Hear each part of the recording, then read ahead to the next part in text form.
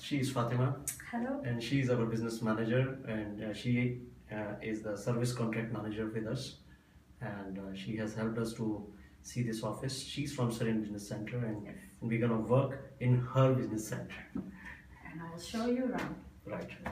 Okay. This is our receptionist and Maria.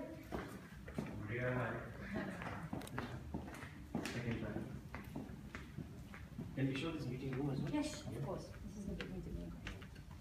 So friends, we can have some meetings over here as well, whenever we have large delegation coming from Germany and kind of like Tegra.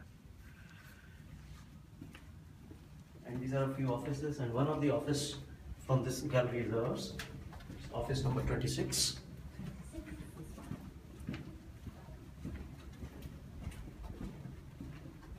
So, so friends here, uh, Imran is gonna work.